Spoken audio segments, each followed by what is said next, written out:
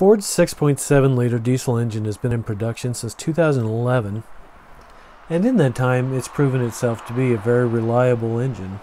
Now, as great of an engine as they are, they still can have problems like any engine, and I recently ran into a hard to diagnose problem on a 2015 6.7 liter engine.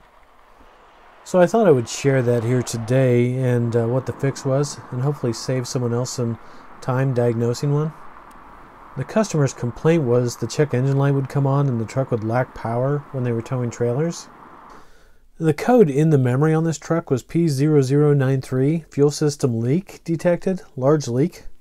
Now where I think this code comes from is the powertrain control module can calculate how much fuel is going through the injectors into the engine, and it also can calculate how much fuel the high pressure pump is pumping.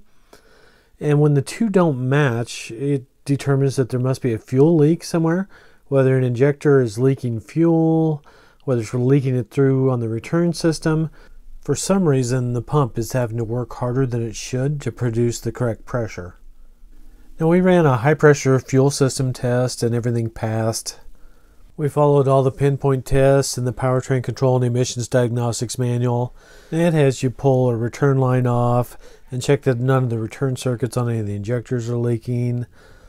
Uh, it has you look at the individual fuel trim on each injector. I believe it had us do a cylinder contribution test. And then it also had us install a fuel line on the driver's side fuel rail and cycle the fuel pump inlet valve open and closed. And then also the fuel pressure regulator valve open and closed and check the flow check that there was flow when the valves were open and none when they were closed and it passed all these tests. Everything worked like it should. And I think the problem was is that the fault only occurred under really heavy load, like when you're pulling a trailer. And I think it probably had something to do with heat buildup and just the duty cycle on the solenoids under those kind of load conditions. And I always hate when you can't verify what the problem actually is. And this was one of those cases that we just never could verify what it was for sure. In the end, I replaced the fuel pressure regulator on the uh, driver's side fuel rail, and that did fix the problem. The fuel pressure regulator is located all the way at the back of the driver's side of the engine compartment. It screws into the very back of the fuel rail on that side, kind of down behind the brake booster or beside it. While you can see the fuel pressure regulator from above, definitely the easiest way to replace it is through the driver's wheel well.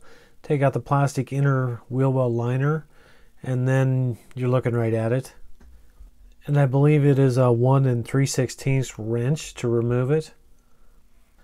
The 1 and 3 16th nut that is closest to the threads is actually the one you need to break loose.